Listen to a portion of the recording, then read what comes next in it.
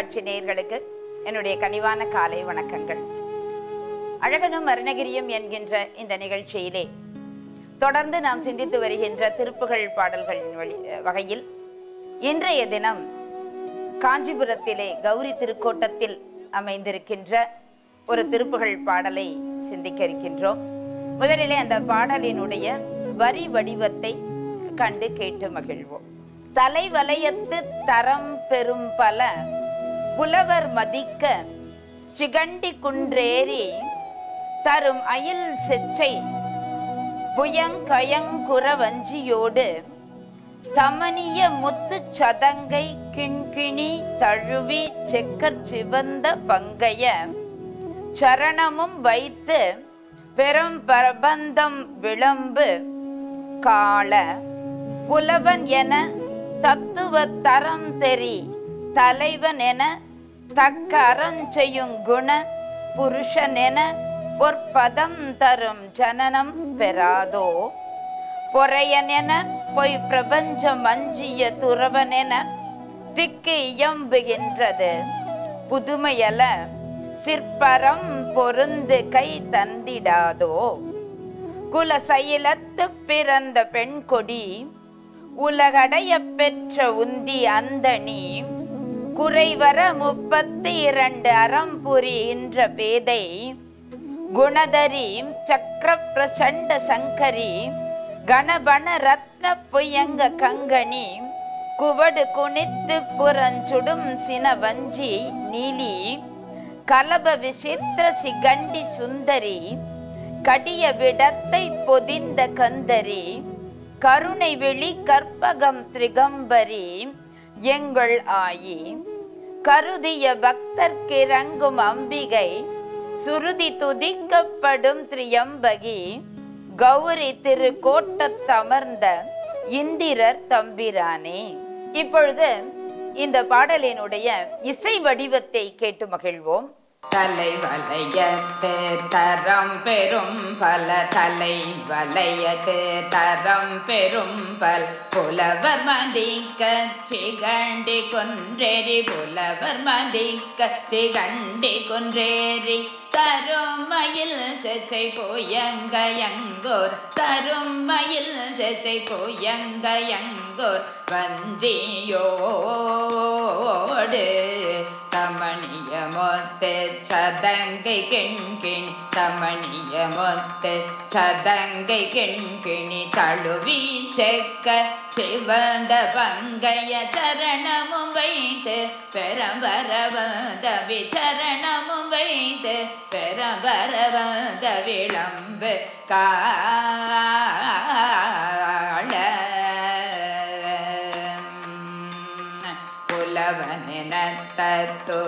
தரம் தெரி புலவனென தத்துவத்தரம் தெரி தலைவனென தக்கரம் செய்யும் குண புருஷனென பதம் தரும் ஜன புருஷனென பதம் தரும் ஜனனம் பெறா ஆதோ பொறையனென போய் பிரபஞ்சமஞ்சிய பொறையனென போய் பிரபஞ்சமஞ்சிய துறவனென திக்கியம்புகின்றது துறவனென திக்கியம்புகின்றது புதுமையல சேர்ப்பரம் பொருந்துகை புதுமையல சேர்ப்பரம் பொருந்துகை தந்தி தாதோ.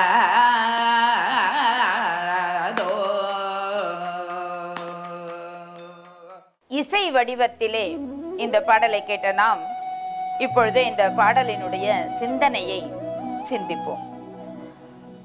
கட்சி என்று அழைக்கப்படுகின்ற காஞ்சிபுரம். இந்த காஞ்சிபுரத்திலே அருணகிரிநாத பெருமான் நாற்பத்தி மூன்று திருப்புகள் தந்திருக்கிறார். நிறைய வகையிலே. அங்க கச்சபேஸ்வரர் கோவில்லையும் சரி அங்கே நிறைய காஞ்சிபுரத்துல நிறைய கோவில்கள் இருக்கின்றன. அந்த ஒவ்வொரு கோவிலுக்குமாக பல பாடல்களை அமைத்து தந்திருக்கிறார். குமரக்கோட்டத்திலும் தந்திருக்கிறார். இது காமக்கோட்டத்திலே அமைந்திருப்பது. ஏகாம்பரர் மீதும் பாடியிருக்கிறார். இப்படி காஞ்சிபுரத்து திருப்புகள் என்பது பலரை முன்வைத்து பாடப்பட்ட ம், திருப்புகழ்களாகும் இதுல இது வந்து அம்பிகையை நம்ம காமாட்சி அம்மனை அங்கு சிறப்பித்து இங்கே பாடுகின்ற வகையில் இந்த பாடல் அமைந்திருக்கிறது. இப்போ இந்த காஞ்சிபுரம் என்கின்ற இந்த கட்சி ஏகாம்ப ஏகாம்பரேஸ்வரர் கோவில் இருக்கிறதே இது அந்த நதி அந்த கம்பை மதி நதிக்கரையிலே அம்பாள் வந்து பூஜை செய்ததும் அந்த க மாமரமாக அந்த இடத்திலே இரு இறைவன் இருந்ததும் வெள்ளம் காட்டி வெருட்டியதும் அப்பொழுது அம்பிகை அதை தழுவி நின்றதும் அப்படி தழுவ குழைந்த நாதராக இறைவன் இருந்த இந்த தன்மையை எல்லாம் காஞ்சி புராணம் மிக விரிவாகவே நமக்கு எடுத்து காட்டுகின்றது. அங்கே அம்மை பூஜை செய்ததுதான் ரொம்ப சிறப்புடையது. எண்ணில் ஆகம விளம்பிய ஈசர் தாம் விரும்பும் உண்மையாவது பூசனை என்று உரைத்தருள அண்ணலார் தமை அர்ச்சனையை புரிய ஆதரித்தாள் பெண்ணில் நல்லவளாயின பெருந்தவ கொழுந்து. என்று பெரிய புராணத்திலே இந்த காஞ்சியிலே அம்மை பூசிக்கின்ற பூஜை செய்கின்ற அந்த தன்மையை காட்டுவர். இன்னும் கூட அந்த தழுவ குலைந்த படலத்துல வெள்ளம் காட்டி விரட்டி அந்த நிலையில பூஜை பாதியில நின்றுது. அப்ப அம்மை கேட்டுக்கிறா இன்னும் பூஜை முடியலையே அப்படின்னு சொல்லி. அப்ப இறைவன் என்ன சொல்லுகிறார் நின்னுடைய பூஜை என்றும் முடிவதில்லை நம்பால். நீ தொடர்ந்து பூஜை செய் என்பதாக காட்டுகிறார். இதெல்லாம் இந்த விளையா திருவிளையாடல்கள் எல்லாம் எதற்காக என்றால் அம்மை பூஜை பண்றதுனாலதான் நாம இப்ப பூஜை பண்ண முடியும். நமக்கு இந்த பூஜை பண்ணுகின்ற தன்மை அதனாலதான் கிடைக்கிறது. ஆக இந்த மண்ணில் உள்ளவர்கள் எல்லாம் சிறப்போடு பூஜை செய்வதற்காக அம்மையை இவ்வாறு பூஜை செய்த வைத்திருக்கின்றான் எம்பெருமான். அப்படி அம்மை இந்த பூஜை செய்ததோடு அவளுடைய பூஜைக்கு ரொம்ப மகிழ்ந்து இறைவன் என்ன வேண்டும்? அப்படின்னு கேட்கின்ற போது இந்த உலகத்துல இருக்கிற இந்த ஜீவன்களை எல்லாம் ரட்சிக்க வேண்டும். அப்படின்னு தான் அம்மை கேட்டுக்கிறா. அப்ப அதுக்காக இறைவன் ரெண்டு நாளி நெல்லு கொடுத்து இகத்துக்கும் பரத்துக்குமாக சொல்லி கொடுக்கிறார். ஆக இடையரா அறம் பெருக்கும் வித்தாக இக பரத்து இரு நாளி நெல். அங்க நெல் கொடுத்து புண்ணிய காமக்கோட்டத்து புலிய வைத்தார். இந்த இப்படி காமக்கோட்டத்திலே இருந்து அம்மையானவள் முப்பத்தி ரெண்டு அறம் புரிய புரிவதற்கு அருள் செய்தான் இறைவன். இன்றும் அம்மை இப்படி முப்பத்தி ரெண்டு அறம் செய்து கொண்டிருக்கின்றார். அந்த ரெண்டு நாளி நெல் வைத்து இன்றளவும் செய்து கொண்டதுனால தான் அவளுக்கு அறப்பெரும் செல்வி என்று ஒரு பெயர். இங்கே சேக்கிழார் இவளை வந்து அற அம்மையை சொல்லுகிற போது அறப்பெரும் செல்வி என்றே காட்டுகிறார். இப்படி இந்த அம்பிகையை இந்த பாடலிலே அருணகிரிநாதர் இரண்டு ப- ப- ப- பக்திகளிலே அவ்வளவு அழகாக காட்டியிருக்கின்றார். முதல்ல உள்ள பகுதியில் என்ன சொல்கிறார் என்றால் எனக்கு ஒரு நல்ல பிறவி கிடைக்கணும் அப்படின்னு கேட்டுக்கிறேன். இது ஒரு வித்தியாசமானதுதான். பல பாடல்களில எனக்கு இந்த பிறவி எல்லாம் போதும் இனிமே பிறவியே வேண்டாம் இப்படி எல்லாம் கேட்ட அருணகிரிநாதர் இந்த பாடலில் எப்படி கேட்கிறார் அப்படின்னு சொன்னா எனக்கு ஒரு நல்ல பிறவி வேணும் இன்னும் ஒரு நல்ல பிறவி வேணும் அப்படின்னு என்ன மாதிரியான பிறவி அப்படின்னு சொன்னா இவன் வந்து ரொம்ப பெரிய உயர்ந்த புலவன். மிக உயர்ந்தவன். இவன் ரொம்ப நல்லவன். இவன் எல்லா வகையிலும் சிறப்புடையவன் அப்படின்னு எல்லோரும் மெச்ச வேண்டுமா? அப்படிப்பட்ட ஒரு பிறவி எனக்கு வேணும் என்பதாக ஒரு கேட்டுக்கொள்கின்றார். இது ஒரு ரொம்ப வித்தியாசமானதாகவும் இருக்கிறது அழகுபடவும் அதை காட்டியிருக்கிறார். சரி அப்படி இவன் ஒரு பெரிய புலவன் அப்படிங்கிற தன்மை எப்படி கிடைக்கும்? எப்பொழுது கிடைக்கும்? அப்படிங்கறத ஒரு குறிப்பு கொடுக்கிறார். நமக்கு கூட இது உதவும். யார் ஒருவர் மிகப்பெரிய புலவராக இருக்க வேண்டும் என்று விரும்புகிறார்களோ அவர்கள் என்ன செய்ய வேண்டும்ங்கிறத காட்டிட்டார். என்ன செய்யணுங்கிறத சொல்றார் பாருங்க. முதல் பகுதியிலேயே தலைவலயத்து தரம் பெறும் பல புலவர் மதிக்க. தலைவலயத்துனா நல்ல முதன்மையான முதன்மையான பல புலவர்கள் எல்லாம் இருக்கிறார்கள். நல்ல தரம் வாய்ந்த புலமை உடைய மக்கள்லாம் இருக்கின்ற அந்த அவையிலே அவர்களெல்லாம் மதிக்கும்படியாக நான் வந்து புலமையுடைய பாடல்கள் பாட வேண்டும். அப்படி பாடுகின்ற போது காலமேக புலவர் போல என்று சொல்ல வேண்டுமா? அப்ப அதையும் சொல்லுகிறார் காளப்புலவன் என எல்லோரும் போற்ற வேண்டுமா? அப்ப அந்த காளப்புலவன் போல என்று போற்றதற்குரிய தன்மை எப்பொழுது கிடைக்கும்? சொல்லுகிறார் சிகண்டி குன்றேறி தரும் அயில் செச்சை புயம் கயம் குற வஞ்சியோடு தமனிய முத்து சதங்கை கிண்கிணி தழுவி செக்கர் சிவந்த பங்கைய சரணமும் வைத்து இப்படி பாடினால் இந்த மாதிரி காலப்புலவன் அப்படிங்கிற பேர் கிடைக்குமா? அது என்ன சொல்றாரு அப்படின்னா சிகண்டின மயில். அந்த குன்று போல் இருக்கின்ற அந்த மயில் மேலே ஏறி அயில் செச்சை செச்சைனா வெற்றி மாலை. வெற்றி மாலை அணிந்து கொண்டு வேலை கையில வைத்துக்கொண்டு அவனுடைய புயங்கள் எல்லாம் மாலையோடு திகழ கயம் அப்படின்னு சொன்னா தெய்வ யானை அடுத்து குறவஞ்சி என்றால் வள்ளி தெய்வ வள்ளி. இப்படி வள்ளி தெய்வ யானையோடு முருகனை புகழ வேண்டுமாம் அதுவும் எப்படி? தமனிய முத்து சதங்கை கிண்கிணி தழுவி இருக்கின்ற தன்மையை போற்ற வேண்டுமாம் அவ- அதோடு முத்து அணிந்திருப்பது சதங்கை அணிந்திருப்பது கிண்கிணி அணிந்திருப்பது செக்கச் சிவந்த அவனுடைய தாமரை போன்ற பாதத்தை சொல்ல வேண்டும். இதையெல்லாம் பெரிய பிரபந்தங்களாக பரம் பிரபந்தம் விளம்புகினால் காலமேக புலவர் என்கின்ற பெருமையை பெற முடியும் என்று அருணகிரிநாதர் சொல்றார். ஆக சரணமும் வைத்து பரம் பிரபந்தம் விளம்பு கால புலவன் என அடுத்து தத்துவ தரம் தெரி தலைவன் என இவன் ரொம்ப தத்துவங்கள் எல்லாம் தெரிந்தவன். மிகப்பெரிய த- தத்துவ ஞானி நல்ல சித்தாந்த வித்தகம் உடையவன் இவன். என்று எல்லோரும் சொல்ல வேண்டுமா அதை சொல்றாரு தத்துவ தரம் தரி தலைவன் என்று எல்லோரும் போற்றும்படியாக தக்க அறம் செய்யும் குணமுடையவன் நல்ல அறம் செய்கின்றவன் இவன் எல்லா தாராள குணம் எல்லோருக்கும் அறம் செய்பவன் இவன் என்கின்ற பெயர் அந்த குணம் இவன் உடையவன் என்கின்ற பெயர் பெற வேண்டுமா தக்க அறம் செய்யும் குண புருஷன் என அடுத்து பொற்பதம் தரும் ஜனனம் இவ்வளவு இருந்தால் மட்டும் போதாது. இப்படியெல்லாம் இருந்ததோடு இப்படி இருப்பதனால் அடுத்து உன்னுடைய பொற்பாதம் எனக்கு கிடைக்க வேண்டுமே. அப்படிப்பட்ட ஒரு ஜனனத்தை எனக்கு தரமாட்டையா? ஜனனம் பெறாதோ? பொறையன் என பொய் பிரபஞ்சம் அஞ்சிய துறவன் என. ரொம்ப பொறுமையான பொறையன் அப்படின்னு சொன்னா ரொம்ப பொறுமையானவன். ஏ, ஒரு சிலரை சொல்லுவோம். அப்பா அவரா ரொம்ப பொறுமையானவர் அப்படின்னு சொல்லுவோம் இல்லையா? அதை அந்த மாதிரி தான் இருக்கணும்னு கேட்கிறார் பொறையன் என பொய் பிரபஞ்சம் அஞ்சிய துறவன். இந்த பொய்யான பிரபஞ்சத்திற்கு அஞ்சி துறவு மேற்கொண்டவன் என்று திக்கு இயம்புகின்றது.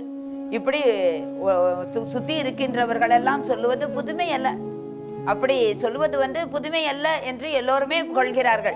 இப்படி இவனை சொல்றது என்ன ஒரு புதுமையா? இது ஒண்ணு புதுமையே இல்லை அவ்வளவு சிறந்தவன் தானே இவன் என்று எல்லோரும் சொல்லுகிற நிலையிலே சிற்பரம் பொருந்துகை தந்திடாதோ?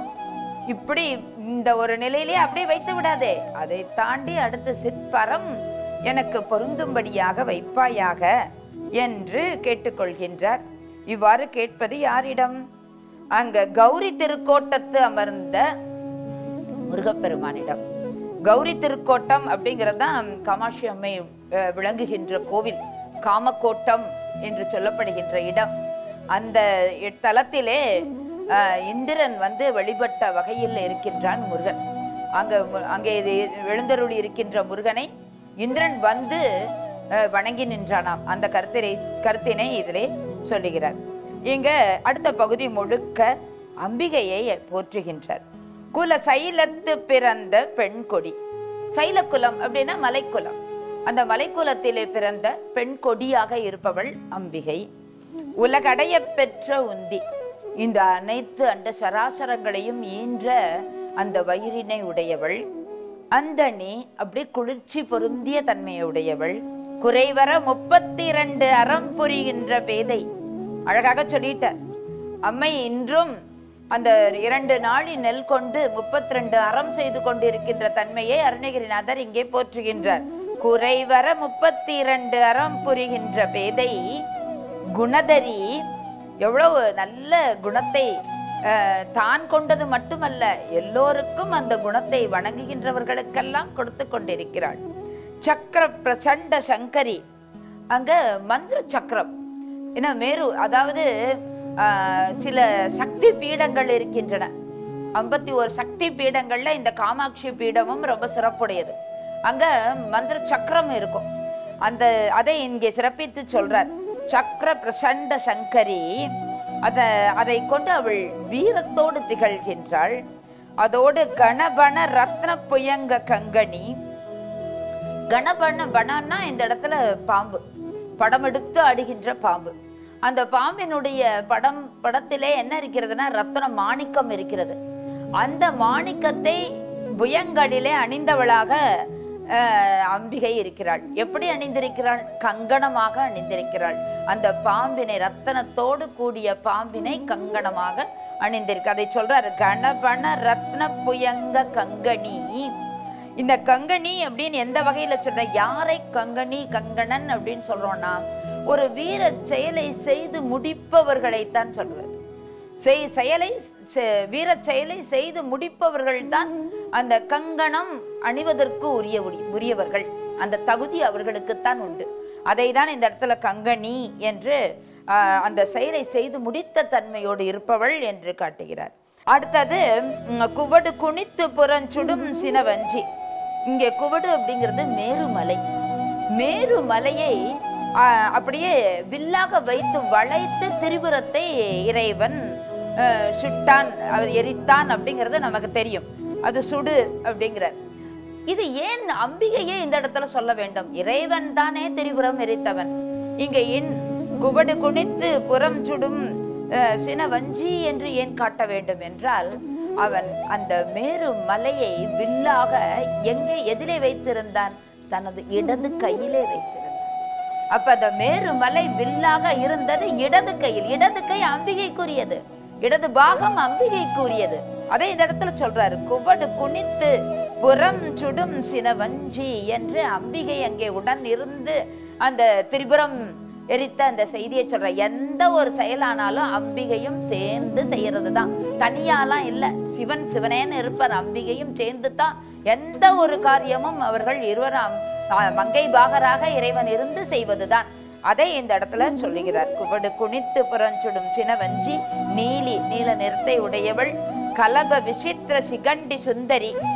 அந்த கலபன தோகை தோகையோடு இருக்கின்ற மயில் சாயலிலே இருக்கின்ற சுந்தரி அழகானவள் கடிய விடத்தை பொதிந்த கந்தரி. இதுவும் அதேதான். எம்பெருமான் விடத்தை கண்டத்திலே வைத்திருக்கிறான் என்றால் அது ஒரு பாகம் அம்பிகை அப்படிங்கிறப்ப அம்பிகையும் அந்த கந்தரம் கந்தரம்னா க- அந்த கழுத்து. அதை உடையவள். விடத்தை பொதிந்த கந்தரி கருணை விழி கருணை கொண்ட விழியை உடையவள் கற்பகம் எல்லாத்தையும் அள்ளி தருகின்ற கற்பக தரு போல இருப்பவள். திகம்பரி அத்தனை பேரையும் திக்கு அனைத்தையும் ஆடையாக கொண்டது போல அவ்வளவு பேரையும் தன்னுள்ளே வைத்து அவள் ஆஹ், அவர்களை ரட்சித்து நிற்கின்றாள். எங்கள் ஆயி ரொம்ப உரிமையோடு சொல்றாரு எங்க அம்மா என்பன்ற வகையிலே சொல்லி கருதிய பக்தர்க்கு இறங்கும் அம்பிகை. யாரெல்லாம் நினைக்கிறார்களோ அந்த அம்பிகையை நினைந்து போற்றுபவர்களுக்கெல்லாம் அந்த பக்தர்களுக்கெல்லாம் இறங்கி அருள் செய்கின்ற அம்பிகை. ஸ்ருதி துதிக்கப்படும் திரியம்பகி. திரியம்பகை திரியம்பகம்னு மூணு கண் முக்கண்ணி மூன்று கண்களை உடையவள் கௌரி. இப்படி கௌரி தான் காமாட்சி. அது- அந்த தன்மையை உடையவள் என்ற வகையிலே திருக்கோட்டத்திலே அமர்ந்திருக்கின்ற இந்த அம்பிகை. இப்படிப்பட்ட இந்த காமாட்சி கோவிலிலே விளங்குகின்ற முருகப்பெருமானை இங்கே காட்டி அந்த முருகப்பெருமான் இந்திரன் வணங்கிய பெருமான் என்பதை இந்திரர் தம்பிரானே என்று நிறைவு செய்கின்றார் நமக்கு அருணகிரிநாதர். அவரிடத்து சிற்பரம் பொருந்துகை தந்திடாதோ? என்றும் கேட்டு இவ்வாறான மிக சிறப்புடைய பதம் தரும் ஜனனம் பெறாதோ? என்றும் கேட்டுக்கொள்கின்ற இந்த அருணகிரிநாதரினுடைய இந்த திருப்புகள் பாடல் நமக்கெல்லாம் ஒரு மிக சிறந்த ஒரு வழிபாட்டு பாடல் தான் சொல்லணும். தலை வளையத்து தரம் பெரும் பல தலை வளையத்து தரம் பெரும் பல். புலவர் மதிக்க சிகண்டி கொன்றேரி புலவர் மதிக்க சிகண்டி கொன்றேரி தருமையில் செச்சை போயங்கயங்கோர் தருமையில் செச்சை போயங்கயங்கோர் வந்தியோடு தமணிய மொத்த சதங்கை கெண்கிணி. தமணிய மொத்த சதங்கை கெண்கிணி. தழுவி செக்க சிவந்த பங்கைய சரணமும் வைத்து பெரம்பரவந்த விசரணமும் வைத்து பெறவரவந்த விளம்பு காள.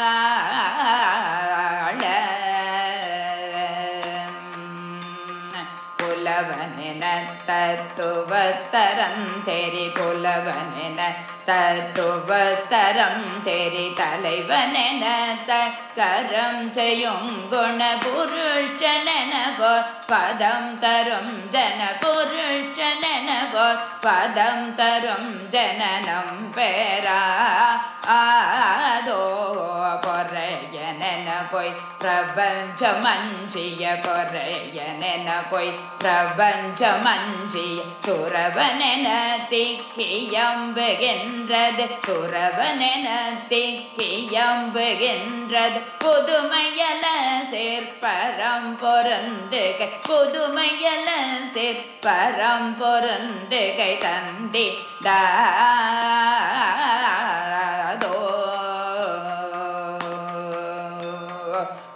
சைலத்து பிறந்த பெண் கொடி குலசைலத்து பிறந்த பெண் கொடி. உலகடைய பெற்ற உந்தியந்தனி உலகடைய பெற்ற உந்தியந்தனி குறைவதமோப பத்திரண்டரம் பொறி குறைவதமோப பத்திரண்டரம் பொறி என்ற பே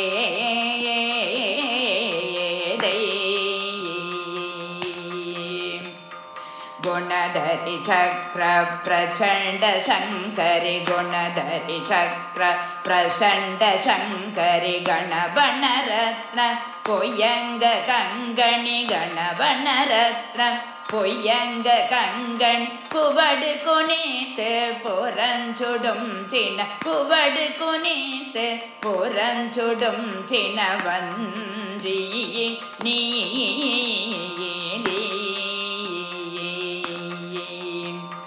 कलभवि चित्र चिगण्डिसुन्दरि कलभवि चित्र சிகண்டி சுந்தரி கடிய விடத்தை பொதிழ்ந்த கந்தரி கடிய விடத்தை பொதிழ்ந்த கந்தரி கருணை விழி கற்பகம் திகம்பர் கருணை விழி கற்பகம் திகம்பர் எங்கள் ஆயி கருதிய பக்தர்க்கிறங்கும் அம்பிகை கருதிய பக்தர்க்கிறங்கும் அம்பிகை சுருதி துதிக்க படும் திரியம்பகி சுருதி துதிக்கப்படும் திரியம்பகி கவுரி திருக்கோ தமந்தய திர கவுரி தபந்த இந்திர தம்பீரானே பொறையன பொய் பிரபஞ்சமன்றிய துறவனென திக்கியம்புகின்றது புதுமையல பரம் பொருந்து கை தந்தி தாதோ கௌரி திருக்கோ தமந்தையில் திர தம்பிரா ஆனே புதுமையலச்சே பரம் பொருந்து கை தந்திடா தோ